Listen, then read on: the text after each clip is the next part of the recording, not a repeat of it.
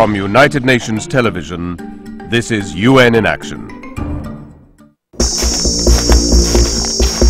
They came under the cover of darkness on a warm spring night in 2008, a deadly force moving in near total silence.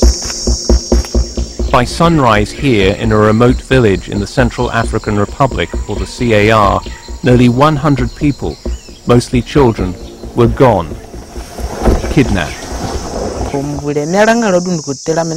I suddenly woke up when I heard the sound of people being beaten. I woke up and fell directly into the hands of the Tongo Tongo.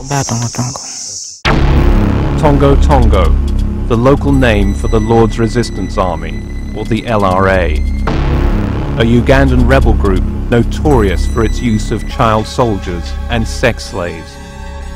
They were here to replenish their forces and they took 22-year-old Octavio.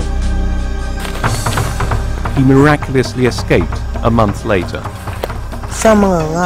They had a plan to train us as soldiers.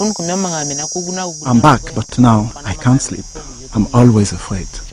I often ask myself why an armed group would come into CAR, and the only good answer I've come up with is why not? There's no one there to stop it. Toby Lanzer, former UN humanitarian coordinator in the CAR, says it's a country simply too poor to protect itself. Fewer than 5,000 soldiers and a few hundred police officers guard a country larger than France. And so, he sent this group from the UN.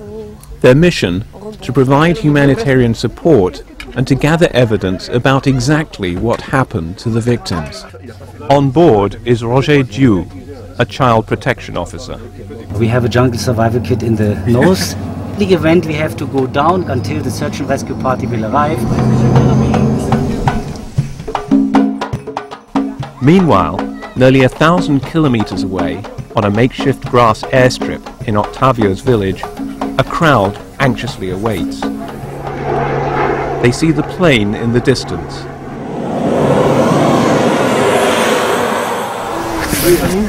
Much needed humanitarian supplies are unloaded. HIV tests, rape kits and medical supplies. For Roger, the work begins immediately, interviewing survivors like Octavio. The primary need is psychological support because they, they, they went through some very traumatizing experiences. So they, they need to talk to people. And the team is determined to talk to as many victims as possible and set out to find them. It's a drive through dense jungle. Scenes like this are repeated again and again. Along the way they stop, collecting information, gathering the stories, and making a list of the disappeared. A list that one day may reunite families. I've seen uh, tracing uh, separations that lasted for 10 years, but we were able to do the, the family reunification. There is always hope. Always hope. Hope that four-year-old Annie Botti is holding on to. His sister is on that list. They were sleeping side by side that night. Suddenly he was beaten by one of Tongo Tongo and uh, he came out running. They used gun to, to hit. But it was here. Roger and Alexei hear many of these stories and try to provide an outlet for children like Annie Botti to open up.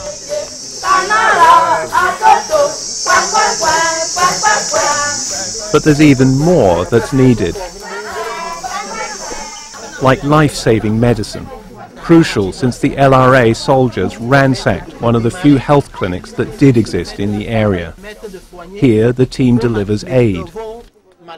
As for the future, Roger believes they lay an important foundation, but long-term psychological counseling must be continued through local organizations, something Octavio longs for. His mind is ravaged by the memories of his ordeal and by fear for those still in the grasp of the LRA. I may be back home, but I can never stop thinking about those left behind. I and the world need to know if the people the LRA abducted will ever return.